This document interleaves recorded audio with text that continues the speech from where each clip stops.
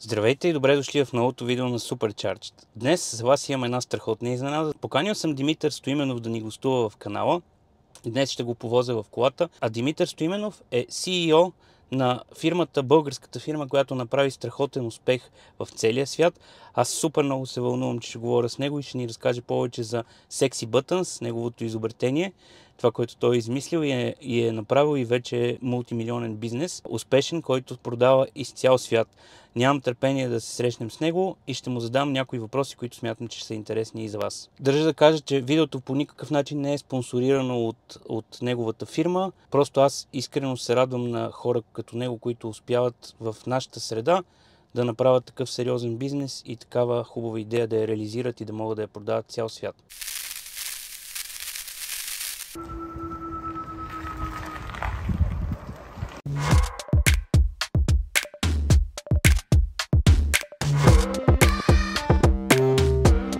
Така, имаме Митко в колата, говориме си направо на ти, ние се познаваме. Ще включа в един момент от а, видеото, къде всъщност се запознахме с Митко, беше точно на този паркинг пред неговия офис, когато сложихме моите а, секси бутончета, които, by the way, вече са инсталирани тук отзад, зад дисплея, на удобни места и правят точно каквото искам. Така, сега да почнем с най-важното. Ако искаш, ми те представи с няколко думи да. на нашите зрители. Здравейте, Димитър съм казвам. Значи аз съм част от екипа, разработил секси бутоните. Като цяло започнахме преди около 2 години и половина, 3, вече почти 3 години. Преди това съм работил в Вистеон. Знаете, голяма фирма е, прави автомобилни компоненти, примерно километражи, head-up дисплей, други модули за най-големите автомобилни производители, Mercedes, BMW. И как ти, значи най-важното за всички, значи първо искам да кажа, супер много се радвам на такива успехи на, на наши фирми и на хора в България, защото всички знаем каква е средата тук, особено за малък и среден бизнес. Интересуваме как ти хрумна първо това цялото нещо. И то идеята не е лично моя, просто преди 3 години така се събрах с едни много креативни, иновативни хора и заедно решихме да, да подобрим Теслата като, като автомобил, който ежедневно ползваш, защото разликата е много голяма, транзишън е много голям. Нали? Човек, който се кара нормален автомобил, изведнъж като се качи в Теслата, му липсват бутони, липсва му удобството и бързината на някои от а, функциите. Просто беше много близо до, нали, до а, това да сети някой, че има нужда от бутони колата за изпълняване на елементарните функции. Примерно да си прибереш огледалата, като си натясно, да си отвориш жабката. Та, като цяло, нали, тогава се роди идеята в, а, преди 3 години с а, екипа и постоянно я развихме, защото то в началото идеята беше предимно за жабката. Нали, как може да не може да си отвориш жабката, трябва да скриеш навигацията, че да си отвориш жабката. И в момента са примерно 4 клика. Един, два, три, след това трябва да го затвориш. Четвърти но като цяло е, се разви в последствие, защото видяхме, че може да направим и други неща, нали? не само жабката. И жабката, примерно бутона за жабката беше готов за около 2 месеца, 3 месеца. Но решихме да изчакаме, да не го пускаме като, като продукт, да направим по-цялостен, по-завършен продукт, по, с повече функции. Направихме нали, и, другите, и другите функции. Направихме да се конфигурират през, през телефона. Апликация също. Апликацията за направихме за конфигурация и си казахме, че след време ще направим и а, инструмент кластер, нали, километраж. А, тогава някой даде идеята, що още от сега не го вградиме в апликейшена. Та забавихме с още, да, забавихме с още няколко месеца а, пускането, но се справихме общо взето за около една година, направихме абсолютно всичко. А, многото функции, не толкова колко, много колкото сега, нали? Ние добавихме в последствие още сигурно 20 функции, но в началото имахме едно 30 функции. Най, най-така, първите, които отидват на, на най-базовите, да. А, след което добавихме и километража и тогава пуснахме приложението с бутоните. Добре, а, любопитно ми е, а, сега примерно има интересно нещо, което го забелязах. Отварянето на жабката при мен, съжалявам, че нямам повече камери, за да го покажа как става, но при мен отварянето на жабката е с код. А, а бутона ще картира този код, въобще няма, така е. няма код. Така е, значи кода за отварянето на жабката е имплементиран от Tesla единствено в MCU-то, т.е. в модула, който управлява дисплея. Но това е готино, защото примерно аз това си замисля сега колко ще е досадно, ако трябва да го натисна копчето и след това да вкарам код. Да. Така че това е готина идея. Освен това, те хората, ако примерно не са отключили колата, теоретично, ако някой ти влезе в колата, предполагам, че копчетата не работят, нали? Така, Ами, да да, зависи, а, зависи дали е пуснат ОБД-то отзад и дали е тръгнала комуникацията между модулите. Зависи как са влезли влезли в колата. И, а, Защото по принцип жабката това, примерно на мен пък ми харесва, че е през копче, нали? защото Да. няма, как, нали, няма ключалки, няма такива. Ами то зависи. Някои хора а, ползват пина, някои не го ползват. Тези, които ползват пина и искат да си слагат някакви там неща, а, които не трябва да, да има достъп всеки до тях, да, а, има. тогава не си слагат бутон за жабката и готово. Не е Яко. проблем. Добре, а, любопитно ми е сега това в началото, окей, вие сядате, почвате да пишете код, очевидно 3 месеца не е малко за, за начална работа, за едно отваряне на това, очевидно е доста сложно. Като, като в смисъл, аз, го, аз сега не съм софтуерен инженер, но си го представям, че малко или много е хакване на софтуера на Tesla, за да може да направи, да, да стигнеш до Ами- функциите, които искаш. Да, в, а, ние, ние не сме а, авторизирани от Тесла за това нещо. Ние си го правим изцяло с reverse engineering на, на съобщенията по колата. А, като ние, аз имам опит от преди това от предната фирма с а, комуникация между модули в автомобила CAN Bus, по CAN Bus си комуникират. И просто всичко е на базата проба грешка и реверс инженеринг на база на примерно свалят се логове, правят се а, статически данни, примерно, като знаеш нещо, което се е случило с автомобила и гледаш а, зависимости в а, данните, които виждаш. Да.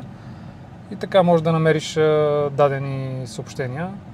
Отделно има доста ентусиасти, които се занимават с това още от, доста от преди нас. А, имаше а, Много даже и някакви open source проекти, А. да, а, с а, нали, някакъв лимитиран сет от функции. Та като цяло на база на това и на база на нашия опит и нашия реверс инженеринг създавахме бутоните, като в последствие а, ние решихме да ги нали, да увеличаваме функциите и ние постоянно ревърсваме нови неща, постоянно тества, примерно ако променят а, някои съобщения, ние веднага сваляме последния софтуер и Трябва да го правите гледаме, on the да, като цяло е постоянна работа, не. Да, да. И колко, а, значи, първо въпрос, който мене ми беше винаги, веднага ми дойде, като, си, като чух нали, за цялата история и си мислех в кой момент точно разбра, че това ще стане биг бизнес, както тук е модерно да се казва. Ами, ами като цяло, а, всеки вижда нали, а, ръста на Тесла и скоростта, с която Мъск успя да продава автомобилите. А, въпреки, че не са толкова удобни, колкото другите автомобили, явно хората ги харесват, защото са иновативни и съвсем различни като, а, като усещане, нали, като автомобил. А, и решихме просто, че възможността това нещо да стане голямо е наистина не малка, защото много от хората им липсват бутоните. Отделно от тук, като се возихме с а, много от колегите в автомобила и, и те не можеха да го приемат и казаха, че ако има нещо такова, веднага биха си взели нали, за удобство. Дори да е нящо, нещо като инструмент за преход от бутони към без бутони, пак, е, пак пазара не е малък и пак е нещо, което помага на хората реално, а не е просто някакъв гимик или нещо такова. И ти тестваше на твоята кола, предполагам. Ти също имаш Тесла, да кажем А, всъщност за, да. за зрителите какво караш ти като Да, дейли Tesla Model 3 а, и в нея постоянно тестваме. То, тя ни е да, тестовото моле. Като цяло е не е имало проблем до сега, две години и половина, три, нали, на нея експериментираме с различни функции, с а, чисто новите разработки, които правиме. А, случило се от време на време да изкачат някакви грешки по екрана, но след рестарт се оправят, няма проблем. Добре, любопитно ми е, вие в един момент нали, видяхте, че това ще стане сериозна работа, съответно се намери финансиране, както винаги, за добрите идеи. Ам, в някакъв момент от Тесла свързаха ли се, все още свързали ли са се с вас въобще? Ами, не. И за сега не са се свързали въобще, ние не сме се опитвали, въпреки че миналата година, като бяхме в а, Калифорния на Tesla Takeover, та имаше будка на Тесла и един от а, служителите там му стана интересно и дойде на нашата будка, да се заговорихме. Това е яко. А, да. И питаше ли, добре, как и как е колата? Него беше интересно как сме го направили, нали, без достъп и без а, да имаме данни. А, но като цяло, реално не сме говорили с тях за сега. Добре, но може би на някой друг етап. Аз сега примерно си представям с, новите, с новия интерфейс, който е в Хикса и, и е с, с тия слайдове, за да смениш напред-назад. Да. Това ми се вижда супер досадно. Не, не може Ами- си мигачи също, естествено. Мигачите там са по-досадното. Специално за мен, нали, има хора, които наистина и превключването им е неудобно, но на ESA и на Хикса новите превключването е хубаво, защото става автоматично в повечето пъти. Повечето пъти познава на къде искаш да отидеш. Като не познае, слайпваш нагоре-надолу, Да. не е проблем. Но тук идва друг момент, че в момента правиме така проучване и опитваме нали, пазара и как може да стане. Да направим лошчета за мигачи, защото има информация, че Tesla ги махат и от Model 3 и Model Y. Ужас, това ще е ужасно. Да, а, края на тази година ще покажат новия модел. А т.е. вие хардвер ще девелопвате Да, с друг начин. Да, да. То ние и сега правиме хардуера за бутоните, ние всичко си правиме. Да, да, имах преди. Да, да, окей, имам преди хардвер за лостове. Хардуера за лошчета, да. Още се чудим нали, точно как да го направим и гледаме различни варианти. Ам, даже имаме прототип а, почти готов с Model S и с а, нашия командер от бутоните, същия. А, скоро може би ще е готов и ще пуснем някакъв тиз, тизър някъде. Яко. А, между другото, аз ще, ще пусна е тук горе-долу, може би сега ще прекъсна, за да ви покажа колко елементарно се слагат тия бутони. Това също е търсена, търсен ефект със сигурност. Да, А, нивото на, на трудност, да. нивото на трудност за да инсталирате бутоните също е много важно, защото реално те не могат да осигурят демант, нали, не могат да подсигурят този този демант, който имат да инсталират сами бутоните. А, така че всеки човек би трябвало да може сам да си го направи вкъщи. Точно така. Сега ще видите колко лесно става. А, Митко, самия той а, инсталира бутоните в моята кола и буквално бях изумен кол- колко лесно става това. Ето как се инсталират Sexy Buttons. Колко пъти си го правил това ми так? Ами. Доста. Доста. Вече може и трицифрено да е. Ето къде се крият конекторите на Теслата.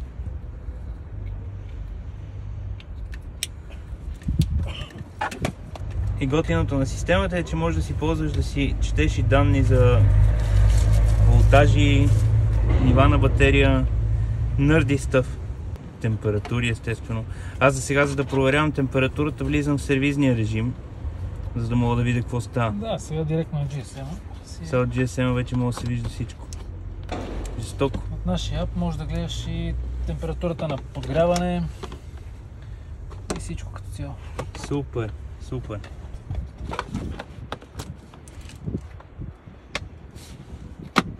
Това беше реално. Да. Добре, е бас якото. Добре, сега това всичко изглежда супер яко. Както видяхте, елементарно. Работи страхотно. Нямам никакви проблеми вече 3 месеца. Аз може би 2-3 месеца станаха. Почти веднага след като си купих Теслата го инсталирах продукта. Ам, но ми е интересно сега, като, като в началото ти го мислите тези неща, вие сте екип очевидно, а, като го кажеш на някой приятел какво искаш да правиш, какви бяха реакциите на приятелите ти? Смисъл за такава идея, нали? И като цяло е доста странно, нали? Хората не го възприемат и не го разбират а, в началото и се чудат, нали, защо сега пък а, такова нещо ще се прави, нали? Но като имаш колата и като я караш, виждаш, лип, виждаш липсата и виждаш нуждата на това нещо. А, повечето ми приятели нали, не, не разбираха и се чудеха защо ще правим такива работи и кой, кой ще ги купува. Пък а, сега продаваме в цял свят. Имахме поръчки даже и от а, Гваделупе. И не знам още от Това къде. не знам къде точно. Търсихме го ние на картата и ние не знаехме.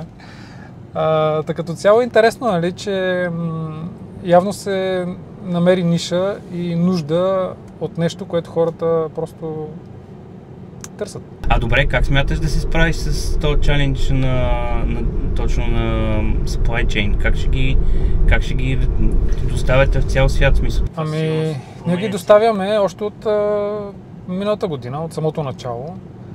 А, доставяме ги директно от а, нашия си офис, като ги изпращаме. Отделно имаме и дилъри в различни региони. А, като цяло няма проблем. До сега работехме с DHL, сега минаваме към а, FedEx. А, експериментираме нали, ние различни варианти, защото все пак а, Трудно е това с доставките, Да. е доста голям чанич, има, поне си, при мен. има си предимства недостатъци.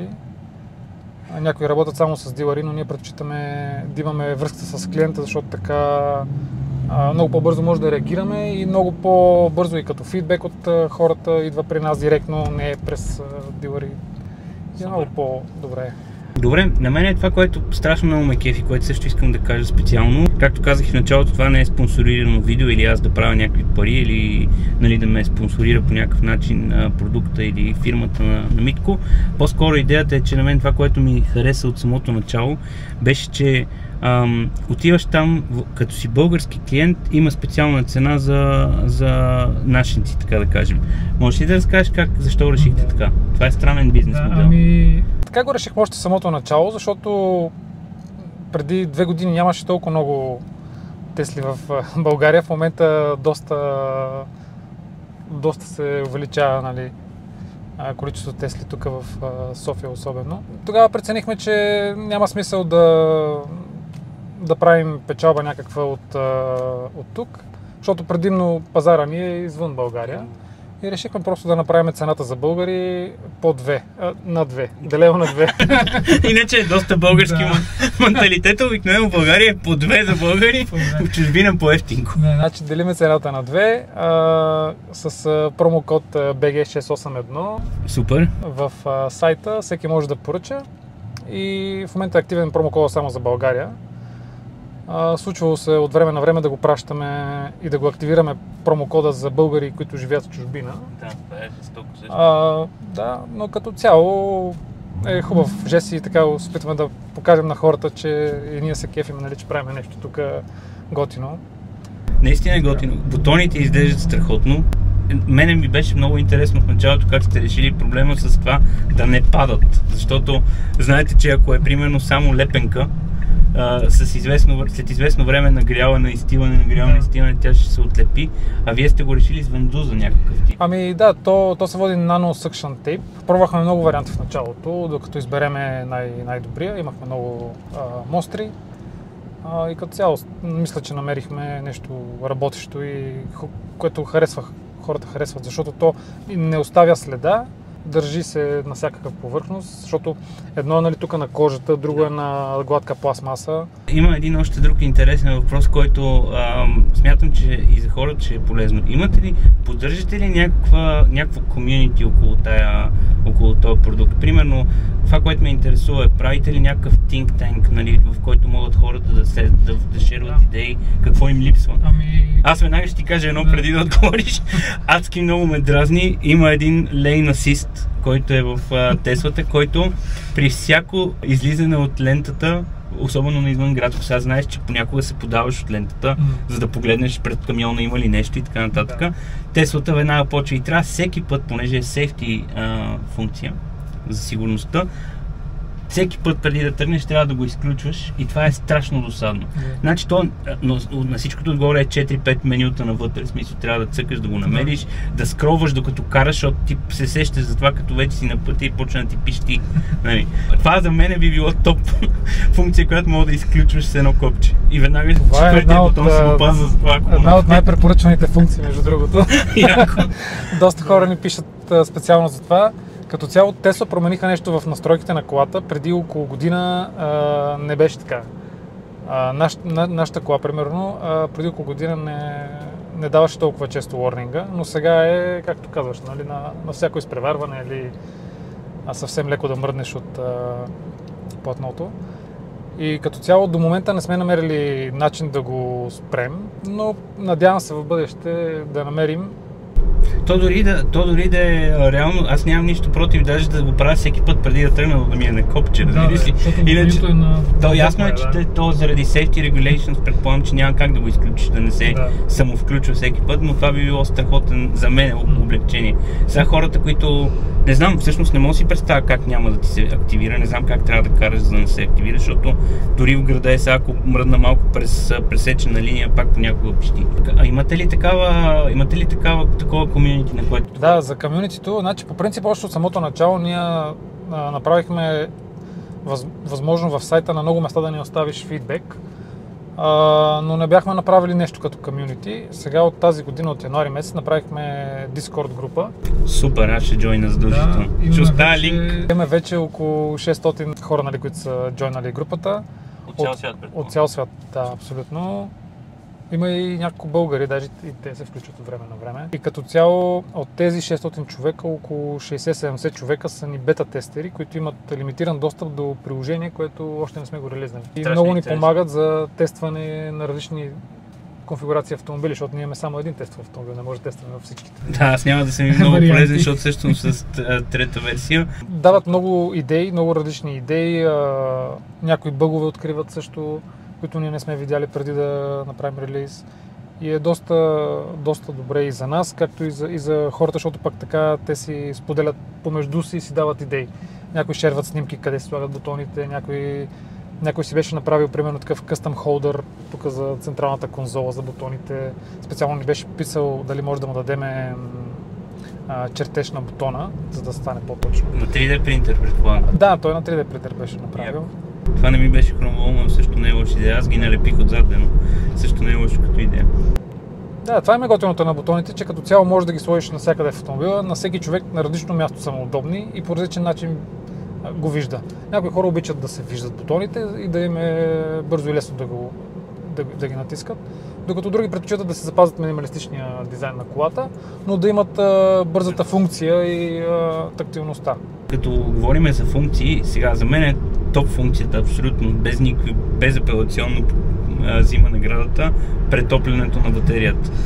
Battery heating, когато не отиваш на Tesla Supercharger в България, както знаеш, сме доста ограничени от към суперчарджери. Надявам се следващите години да се промени това. Нали, не знам дали видя, имаше една графика, някой я беше шернал продажбите на, ръст на продажбите на Тесла във всички държави в света. Спрямо миналата година. Видя ли я тази информация? Ами, Беше излезнала. България е на първо място в света. Бройката е нищожна. 300-400 коли, примерно, бяха до еди кой сме. Но ръста беше 500% или нещо. От този. Ам, така че, а, любопитно ми е това. А, как мислиш за... Ами за прехитинга като цяло скоро го направихме. Скоро, скоро, преди около 6 месеца. Нали? Не го направихме в самото а, пускане на бутоните, защото тогава още не бяхме намерили начина. А, но като намерихме как се прави, веднага го пуснахме, защото много хора дори си купуват бутоните само за тази функция. Тя е жестока функция. Да. Нека да кажеш само за Теслата, за хората, които не знаят, защото много, предполагам, че много хора, които гледат това видео, още не са си направили, а, още не са си купили Тесла, интересуват се, пък или, или пък имат Тесла и това ги дразни.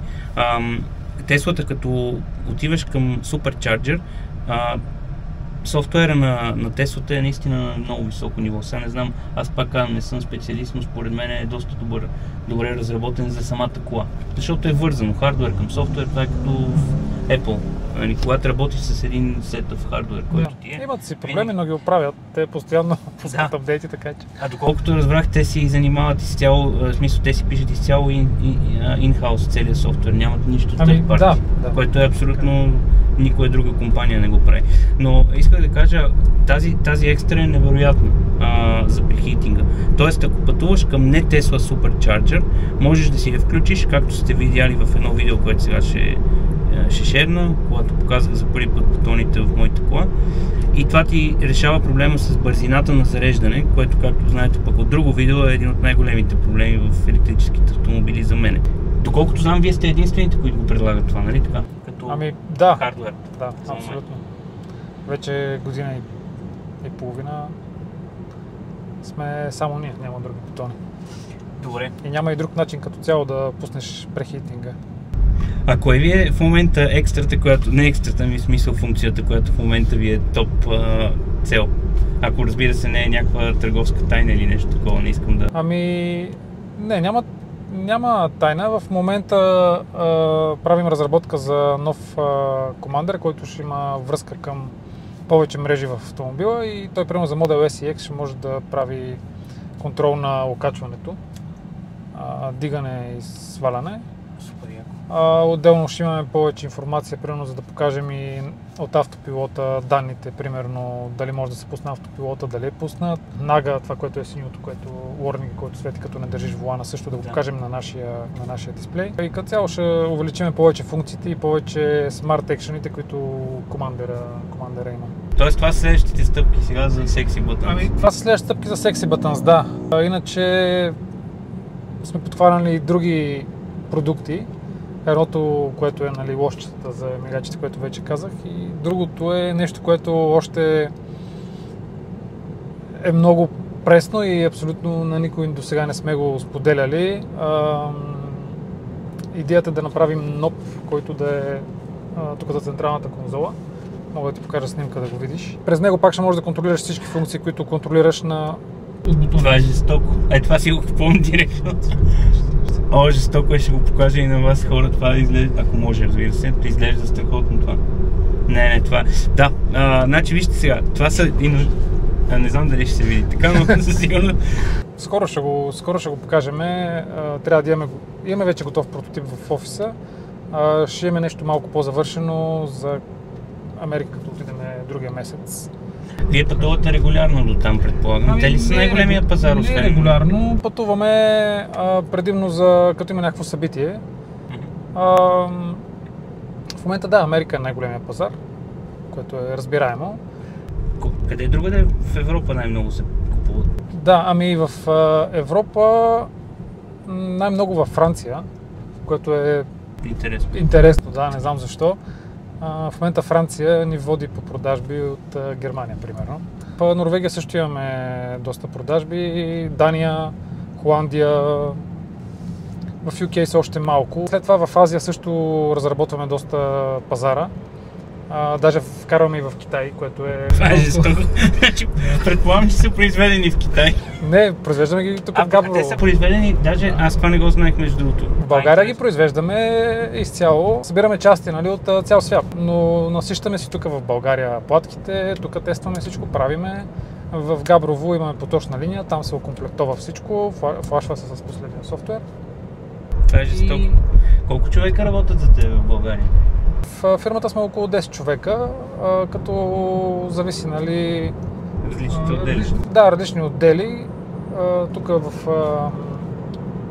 в София сме 5 човека, които работиме изцяло 100% само за бутоните. Само. А мислите ли за планове за развитие в други държави? Защото предполагам, че в един момент ще ви се наложи да имате, да речем, някакви, не знам, офиси. Имате ли офиси извън България? Ами, не, няма офис извън България. За момента се справяме само ние. Това е сега- сериозен чалендж за мен. Да. Като цяло искаме да разработим нашия офис. В момента също търсиме хора. Така че ако А, ето, има е някой от зрителите, да, който има интерес, може да се обади да пише. Какви хора ти трябват? Смисъл, Ами, предимно ни трябват програмисти, Програмисти. Отделно ни трябва човек продажби, който да се занимава нали, с, като акаунт менеджер за различните клиенти на едро. Иначе програмисти по embedded и low level, защото а, OBD-то, нали, командера, който е, той си е low level програминг и вече имаме App Development, което е другото, другото звено, което нали, разработваме в момента. Но предимно е beded програмисти. Супер, ще го включим специално.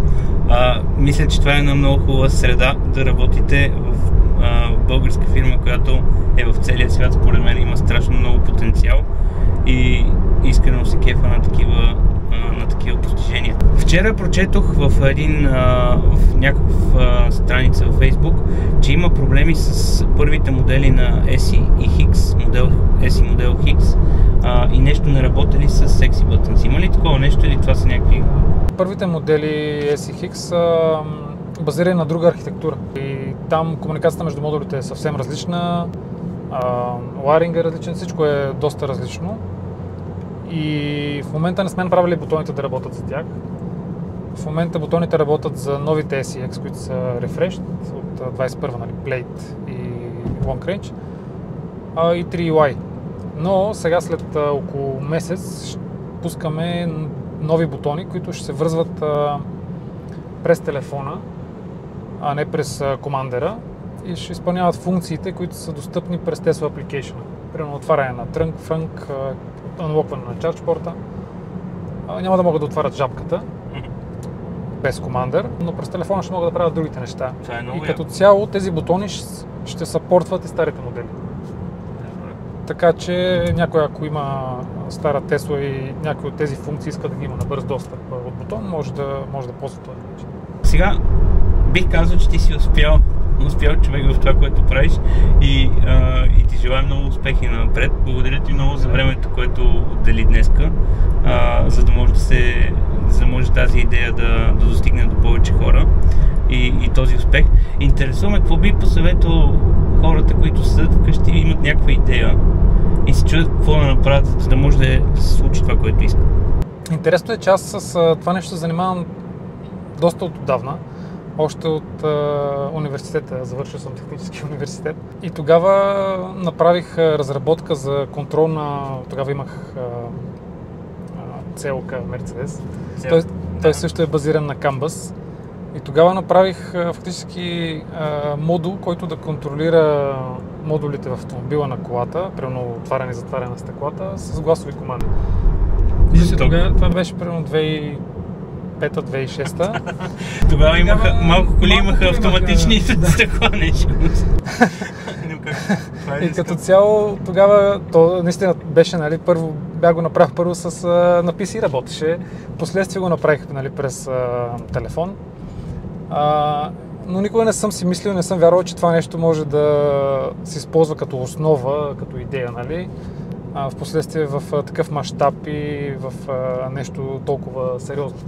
Така че, моят съвет е хората наистина да не да, да преследват мечтите си и като цяло да не се отказват, защото хубавите неща стават с много работа. Така. И Това, това според мен е част от народопсихологията в България. Всеки иска да е шеф, всеки иска да менажира хора, дори без да разбира защо и какво ходи, колко много работа а, е необходима, за да направиш нещо подобно. Добре, де, сега знаем, че сме българи. Нека пак се върнем за народопсихологията. А, това го забелязвам във всичките групи за Тесла и в електрически автомобили, общото, не само Тесла. Има един процент от хора, не, не искам да казвам колко защото не съм сигурен, но според мен са между 5 и 10% от, от хората там, които влизат в тези канали или, или групи само за да хейтят електрическите коли, прогреса, въобще като цяло, смисъл, има, има такива хора, които винаги, това има то вид с, с в, в българския казан в Ада няма, нали знаеш, няма дявол, защото всеки те дърпа от, отдолу, ако нещо тръгнеш да излизаш. А, за съжаление, това е една от най-добрите репрезентации на, на мисленето в а, средно в България, но както и да е, да не изпадаме в тия подробности. Та въпросът е, няма ли такива, които идват при теб и казват, «Бе, ти от ли си какви глупости, за какво ми е това? Или пък, примерно, защо Тесла, защо точно Тесла, тия Тесли са ужасни, Елон Мъск е много гаден и така нататък. доста хора има, които си харесват Теслата, както Илон я е създал, така да се каже. И а, са свикнали да, да карат автомобила и без бутони, не са им нужди бутони и не разбират смисъл от а, бутоните. Нашата цел е да им покажем какви са предимствата и как е по-лесно да изпълняваш различни функции докато шофираш, без да се разсейваш. Защото, каквото да си говорим, пипането по дисплея нали, постоянно е разсейване от а, пътя. Това е нашата цел да, да покажем на тези хора, че бутоните помагат. А, те наистина не са за всеки, защото някои хора вече са свикнали и са си окей с а, това. Ние тях не се опитваме да ги накараме да, да, да, да си вземат бутони, но ние сме по-скоро за хората, или, които се колебават, или които наистина търсят активно някакъв по-добър и по-бърз начин за правене на различните функции. Сега, понеже знаеш, тук последната половин година света избухна с чат GPT, AI и така нататък. А, разбира се, това е само в частта с а, нали, генериране на текст, а, нали, такъв, такъв тип AI. Нали, преди това имаше, мисля, че и с а, изображенията. Но кога мислиш, че в даже не говоря в България, в световен мащаб вече има доста прогрес в Теслата, специално за autonomous driving, за каране без, без управление от шофьора. Кога смяташ, че това ще бъде наистина навлязло до толкова, че да не ти трябва секси бутон, защото не караш, просто си отваряш откъдето искаш. Ами, наистина бързо се развиват нещата, специално с FSD-то. Не съм сигурен, че е много бързо, защото А, от преди две години трябваше да има нещо вече готово с FSD. Там винаги се бутат Там сроковете. е, да, винаги. Но като цяло в Америка наистина последните версии доста добре се справят. А, все по-малко трябва човек да се намесва в, в управлението на автомобила. А, това нещо, кога ще го имаме тук в Европа и специално в България, Трябва да направиш е копче за отбягване на дупка. Специален мод за отбягване на дупки в София. Може. Та, не мисля, че ще е прямо близките една-две години. По-скоро в България ще дойде Пет. след 3-4-5 години, да. Да. Но в а, Америка най-вероятно съвсем скоро, може би до година, ще пуснат нещо по-публично, защото просто вече и хората много ги притискат. Човек си е купил колата примерно 2018 година с FSD. Дава 15 000 Да, долара. Да. И като цяло е трудно да се направи, защото ако човек направи нали, нещо такова, ето те вече са се сетили за, за роботите, което е Което е гениална идея. Това беше наистина много интересно. след, следващата стъпка, така да се каже. Да, и ще е много по-достъпно, примерно, един робот няма да е колкото една Тесла и предполагам. По-скоро ще е колкото една Тесла. Мислиш, че ще толкова? Сега Аз мисля, Да. че ще го правиш на доста ниско. Ами не, по-скоро ще е горе-долу колкото една Тесла, поне първоначално, след а, известно време като освоят технологията, може би ще е по-ефтино. Имахме едно меме в Инстаграм, бяхме сложили с а, Тесла бота и един бутон тук за шатдаун. Да, червен задължително. Това е гениално, със сигурност.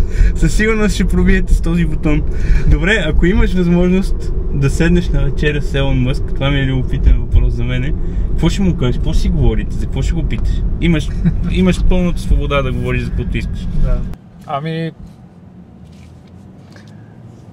Да, да знам. Покрай Тесла няма много въпроси. Бих може би го питал повече около SpaceX и Около SpaceX. а, такива неща. Да. Или работи за Тесла, на теория? Ако те направи, примерно, айде, не, не знам, Chief Techni... CTO, да речем. В момента мисля, че работата ми е по-хубава. Да, и аз така. Това, което най-ми харесва на сегашната работа е ам, близостта до, до клиента. Защото в а, момента ние правиме някакъв нов фичър за примерно седмица-две, след което го релизваме и веднага имаме фидбек от хората на кой му харесва, кой не му харесва, на кой му работи, на кой не. И веднага имаме възможност да реагираме и, и след това хората ни пишат нали, с благодарности и това е много, много хубаво като а, Удовлетворение от Удовлетворение работа. от работа, да. А как виждаш фирмата си след 10 години? Какво си представяш? 10 години са много години, знам. Това е като на интервю за работа. Няма да не имам със сигурност. Не мога да си го позволя, но питам теоретично как виждаш след, айде 5 години, да кажем, 10 са прекалено много в технологичния свят. Ами 10 години не се знае и Теслата още. Да. Е, Как ще изглежда Според мен ще е после? като голфовете едно време. Смисъл, всички си имат Тесла от този по-малкия вариант. А, след 5 години като цяло виждам фирмата поне два пъти а, повече хора да, да сме тук в България и да ни знаят много повече хора, които карат Тесли. Като ние в момента сме почнали с Тесла, защото в нея има най-много нужда от бутони. А, но нищо не ни пречи в бъдеще, като видиме нужда в някой друг автомобил, да разработим идеята и за, и за друг, друга марка. Освен това съм сигурен, че след 5 години, не, след 5 не, ама след 2-3 години следващите модели ще са доста минималистични. не знам дали забелязваме, че Да. в много производители правят абсолютно копия на този Да, дисплей, е. как изглежда. Това е като с... А, мразя да правя аналогията с а, Apple, но аналогията с Apple за мен е близка с Tesla, защото и двете са направени така, че да са лесни за употреба. Без да влизаш прекалено много в детайли, функциите просто работят. Да. Много яко. Благодаря ти наистина за интервюто и, и за времето, защото смятам, че това ще е полезно за хората. Аз благодаря за възможността да хората да чуят за историята и за, за фирмата като цяло. И пишете в коментарите, ако имате въпроси. Сигурен съм, че Митко ще отвори и ще види, като пуснем видеото. Ще отговори на всички, които имат а, въпроси. Влезте и в Дискорда. Аз съм сигурен, че ще влезна. Ще кандидатствам за бета тестър след някой друг месец. А ако, примерно, сега трябва да избереш, това също е много интересен въпрос. Ако трябва да избереш друга кола, не Тесла за себе си да караш, какво би си купил след като си имал Тесла? Това е аналогия с, а, а, с а, Apple и non-Apple, нали, Android девайси. Ами, не е трудно да кажа. А, преди две седмици карахме Зикъра. А, Може китайски. би си чул, да. Да, Zikr 001 или кой? Да. Той е И правилният. а, много ни хареса като, като автомобил, като вътре а, качество. А, като софтуер всичко беше мисля, доста добре направено. Та може би, ако не е Тесла, по-скоро ще е някаква китайска електрическа кола. Интересно. Това не, не го очаквах. Очаквах, че ще кажеш Porsche Taycan Ами, или не. нещо. Не, китайците наистина много, много напредват и последните 2-3 години ударно направиха много а, в автомобилния сектор. А, дали са откраднали нещо от Тесла, дали от някой друг, няма значение. Въпросът е, че прилагат наученото много успешно. Аз, честно казвам, аз това го казах и в предишното ми видео, за което си говорихме за плюсовете и минусите на електрическата кола и, и моята Тесла, защото аз навъртях вече 12-13 хиляди км за 3 месеца с нея. Доста си покарах. А, и ще продължавам, между другото. А, но идеята беше, че направих една такава, а, такова сравнение нали, между между Теслата и останалите автомобили. И това, което примерно мене би ме спряло да си купа Zikr или която и да е китайска кола, е китайския софтуер. Примерно и Xiaomi, тези, в смисъл марките на телефони, Ами за софтуера специално още се учат, така е. Но а, на това беше сравнително, сравнително добре, нали, като цяло. Той на Тесла софтуера ни е перфектен. Особено примерно преди две години забиваше, имаше черни екрани, сега ги поправиха поне тия критичните неща. Но ми се е случило, примерно на магистралата си карам, изведнъж а, черен дисплей и чакаш а, 10 секунди да ти зареди. И при мен се случи веднъж между другото. Но пък примерно явно хардвера им е... Аз китайците имат всякакъв хард, те имат всичко на света, което може да се произведе, но от към бързина на, на реакция на, на дисплея до нали, че няма, общо взето няма грешки, нищо не натискаш го и не почва или някакви такива лагове. Да, това е тук са много се справили доста добре. Тесла като цяло са от тази гледна точка са го оптимизирали, защото те го правят както Apple, нали, правят само за iPhone. А не те ли притеснява, примерно, че китайците имат доста по-малко регулации за сигурността на данните, които взимат от тебе, отколкото са в Штатите? Ами- смисъл не казвам, че няма, че там нали, никой не те следи, CIA и така нататък, но въпросът е, че все пак със сигурност имат повече регулации от китайците. М, Не съм мисля по този въпрос, честно ти кажа, но предполагам, че като вкарат автомобилите в Европа, със сигурност ще спазят всички директиви и препоръки от... Allegedly. а, не, сигурно. Добре, ами добре ми, ние стигнахме пак обратно, откъдето тръгнахме, повозихме се заедно. А, благодаря пак за, за времето отделено. За мен беше супер любопитно, супер интересно и, и така, и до нови срещи. Надявам се нещата в, в твоята фирма да върват все по-добре и те се вика и на Марс да продавате, ако, ако стигне до там. Беше ми приятно. Мерси, на мен беше много приятно.